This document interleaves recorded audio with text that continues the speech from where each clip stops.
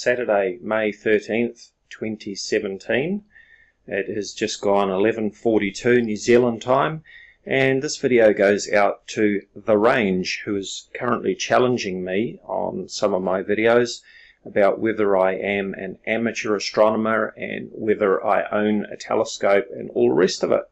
Now I've already responded with several comments and uh, playlist links from my playlist showing the work that I've done with the various telescopes that I have access to, including this 8-inch Meade LX10. Let's take a close-up on that telescope. As you can see, it says Meade LX10 EMC.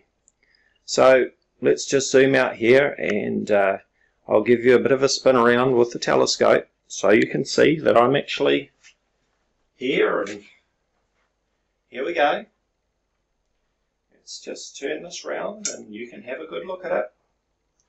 This is the 8-inch Meade LX10 telescope, which is from the observatory, which, I, as I said, I have free access to. I do not own this telescope, nor do I own the 14-inch Meade LX200 at the observatory, which I also have free access to.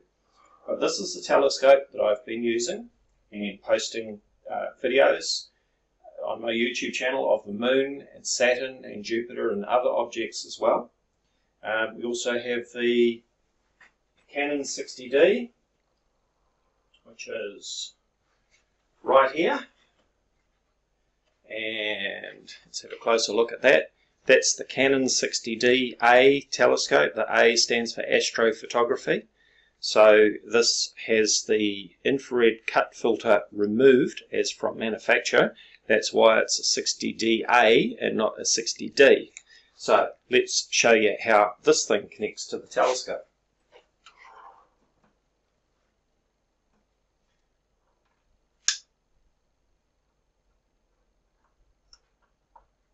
So this is the business end of the telescope up here. Let me tilt that up.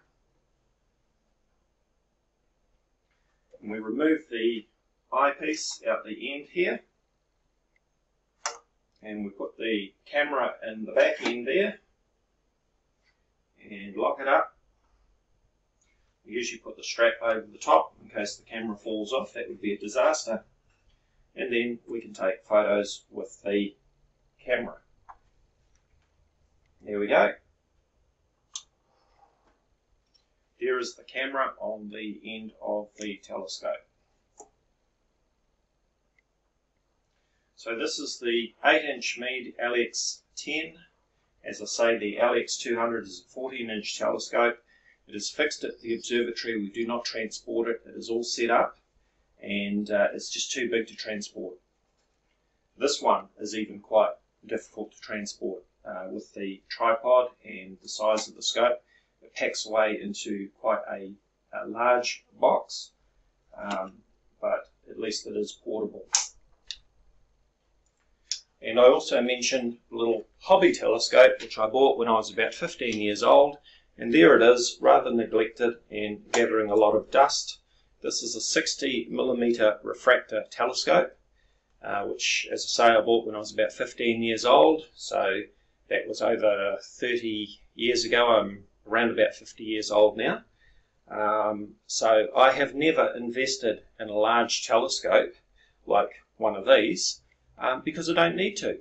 I've got free access down at the observatory to a 14 inch Meade LX200 which is worth, it cost us 14,000 New Zealand dollars to buy and it cost about the same amount again to set up that telescope uh, with the with the mount and all the bits and pieces that go with it. And to be honest, I don't have that sort of money to throw around at telescopes, and why would I? When for $30 a year, I can join my local astronomical society and have free access to telescopes like this one. So there we are, the range. I hope that has answered your questions. But certainly let me know if you've got any more.